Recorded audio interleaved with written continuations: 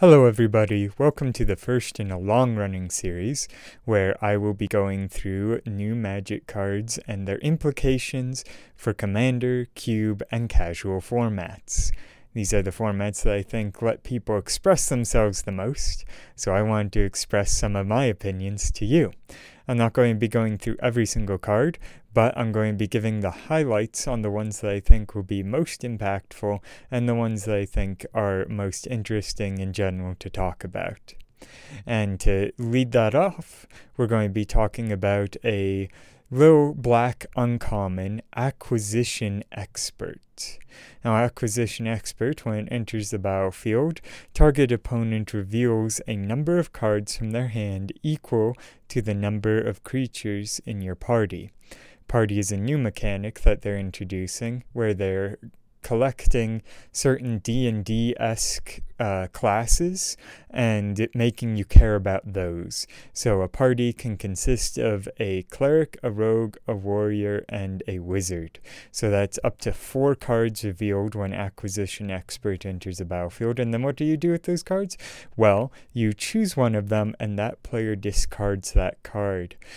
You may be thinking to yourself, why is this noteworthy? We have plenty of cards that when they enter the battlefield, your opponent discards a card.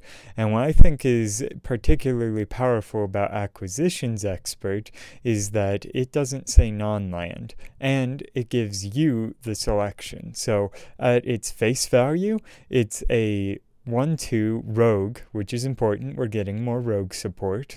Wonderful, wonderful as always. And when enters the battlefield, at the very least, your opponent's going to discard one card. When the very most, they're going to reveal close to their whole hand, and you get to choose any card from it.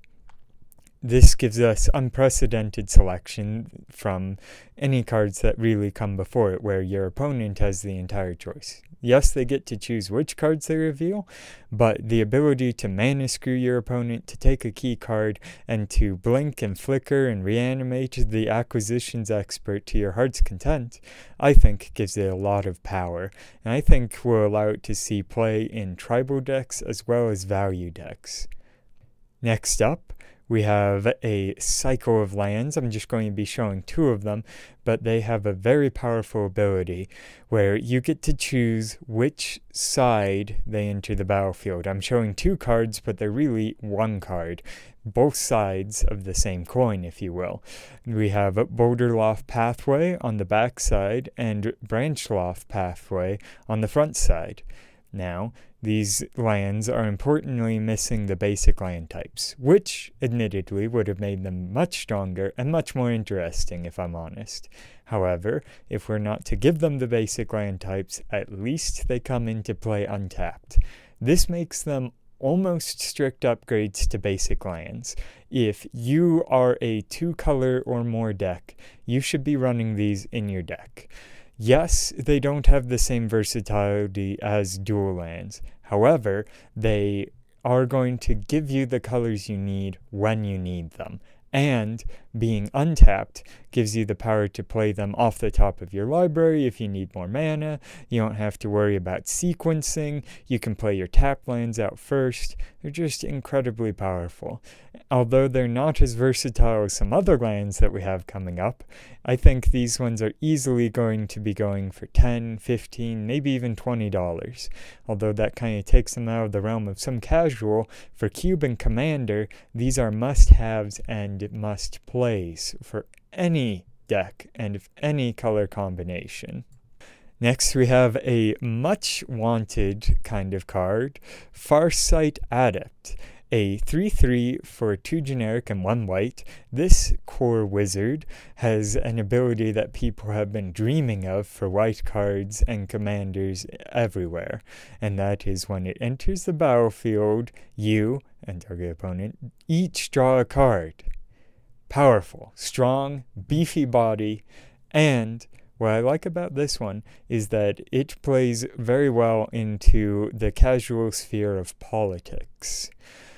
It doesn't work in Two Headed Giant, which is unfortunate, or it does, but you can't make your teammate draw a card. If it was you and another target player draw a card, that would be, well, icing on the cake, phenomenal, powerful card.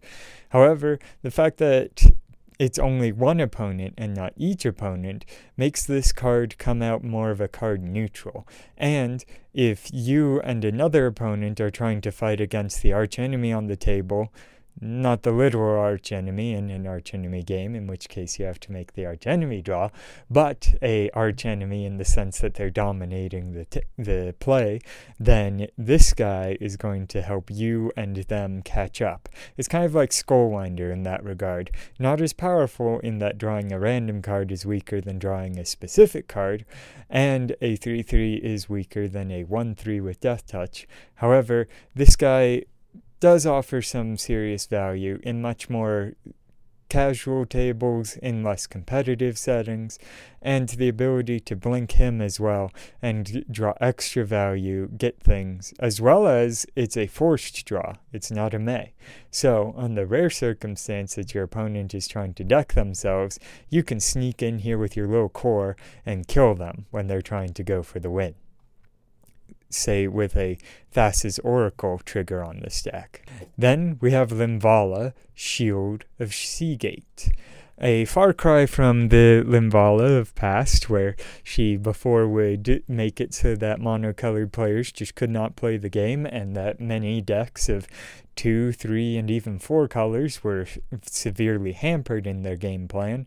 This Linvala is more of a uh, constructed creature, although she is legendary, so she can be your commander. So if you're trying to play Angel Tribal, maybe she's the low to the ground flying beatdown that you want, although I kind of doubt it.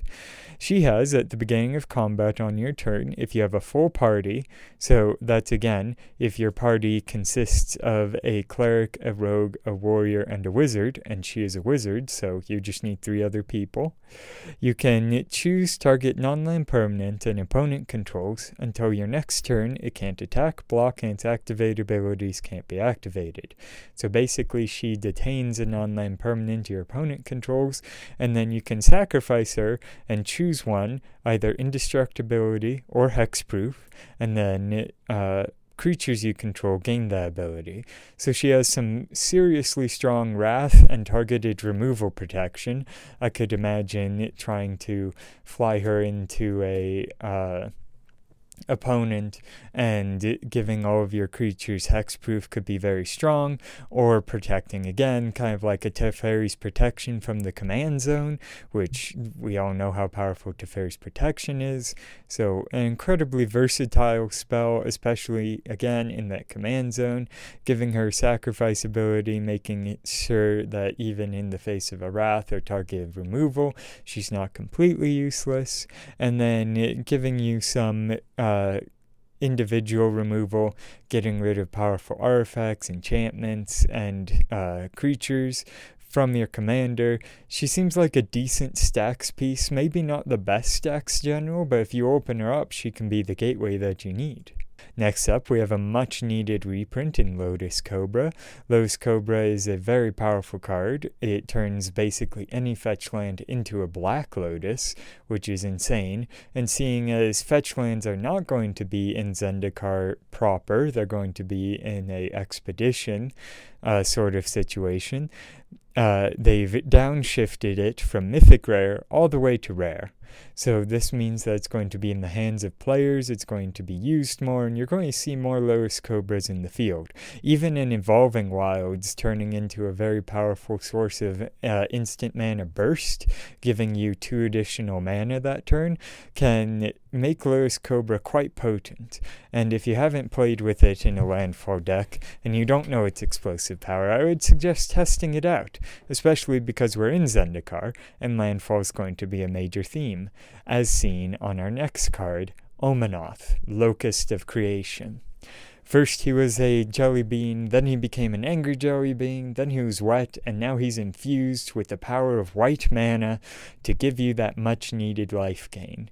The previous Omnath, Omnath Locus of the Roil is a powerhouse in Commander, especially in landfall decks, and although I don't think that this Omnath is going to take that seat from him, I think if you're going to play four color Commander and you don't want to use uh, not companions. If you don't want to use partners, Omnath Locus of Creation gives you that much needed uh, white teamer or uh, I don't know, blue Naya, or however you want to say it.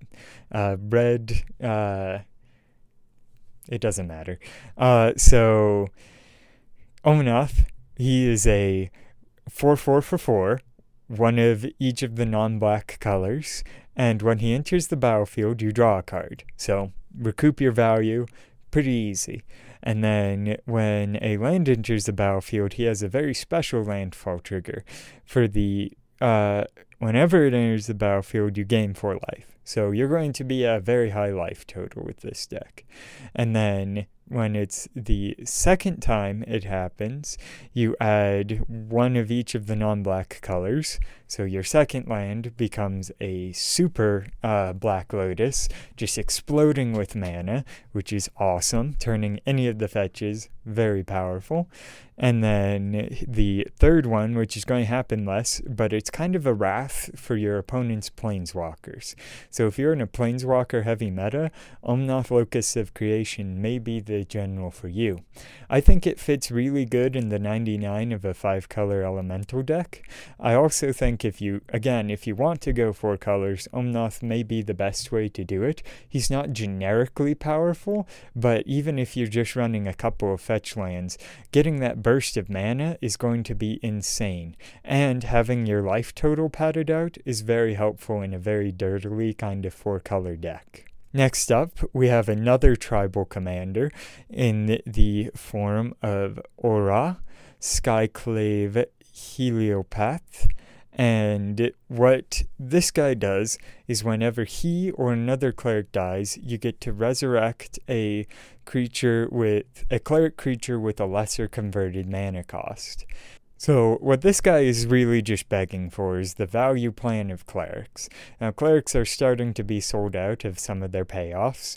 I know Edgewalker is up to $12 right now because people are buying it out because cleric tribal is apparently going to be a thing here, and Edgewalker's CMC uh, mana cost reduction is paramount to make the deck great.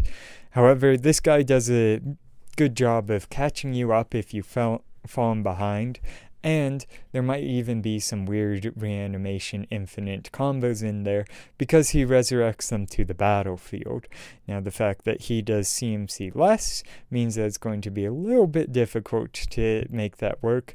However, if you use clones in the appropriate way, there might be a way to mix it around, as well as the art, the enchantment conspiracy, turning all of your creatures into clerics, so you're able to resurrect and bring back creatures that aren't clerics, or sorry, you can bring back clerics with non-clerics, and it, that could be potentially powerful if you have a reanimation on death trigger or something like that.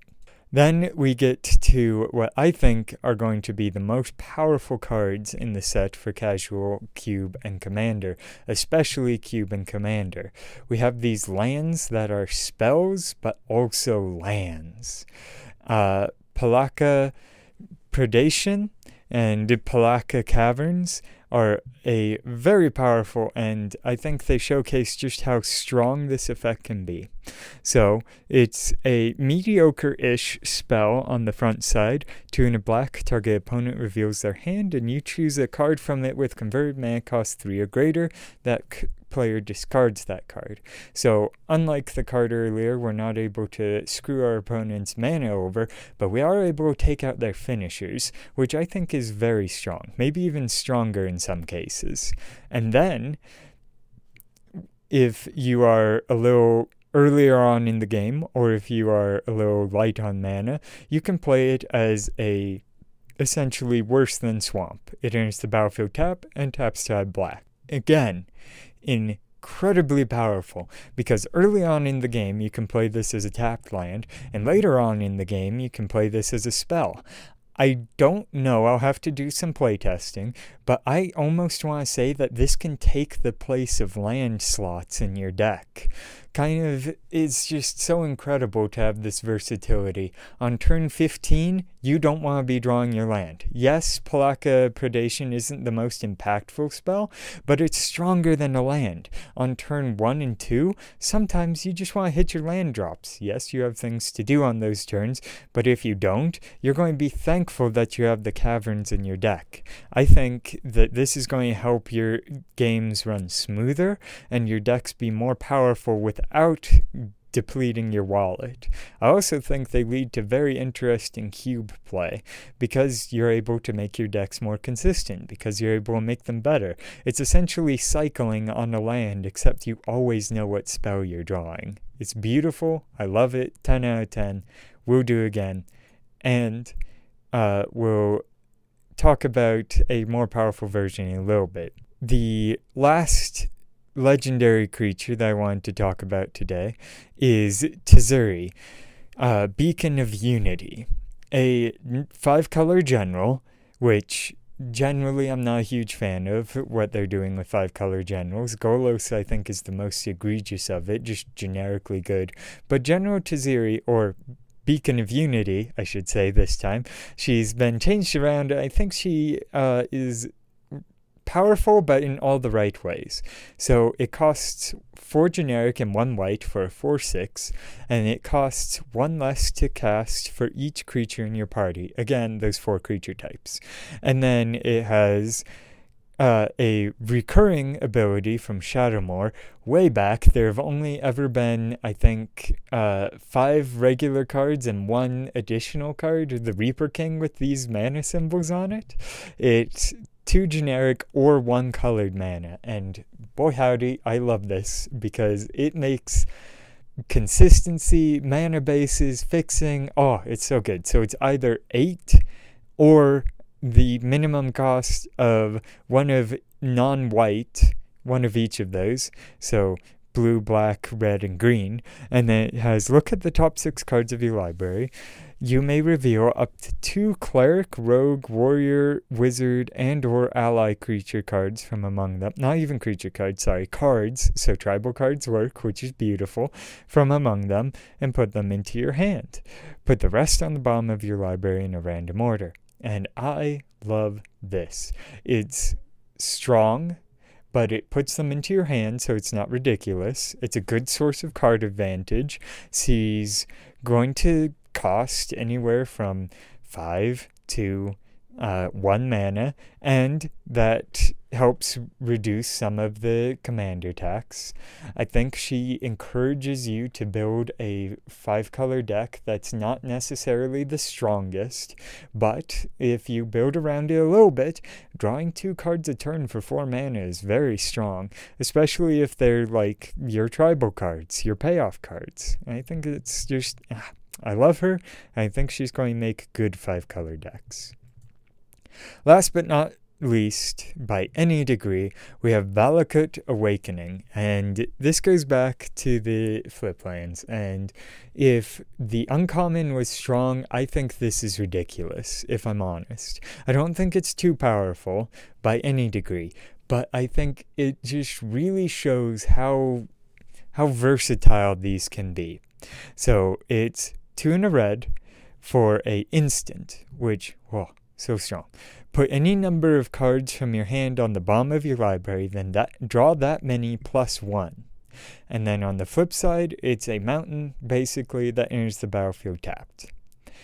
So, again, just having this in your opening hand with like one or two other lands frees you to so many possibilities. You can draw and you can see what you're getting. You can play this out on turn one and know that you're going to hit your land drops. You can draw this late game and shuffle away your hand and get a new hand. It's like a personal uh, not Wheel of Fortune exactly. It's like a personal windfall that doesn't bring you down any cards. It's so powerful, the versatility and the strengths of this card. I think this is close to an auto include in any casual deck. I think this is close to an auto include, if there is such a thing, in any uh, red commander deck that's not seeking to win the game on turn two. And I think that these spells are just going to make you so happy. You replace one of your mountains with one of these, and you're going to see the dividends. You're going to be paid this value, and you're going to thank me and thank yourself for including these in your deck. My only hope is that they're not too expensive, because if they are, that's a real shame. Is I'm going to need tons and tons and tons and tons of these. Expect them to be more prevalent than Solemn Simulacrum. That's a hot take, but that's my take. Thank you all so much for listening. I hope you enjoyed this video. I hope you talk about it in the comments down below, because I think that discussion is the lifeblood of this game. Thank you, and have a wonderful day.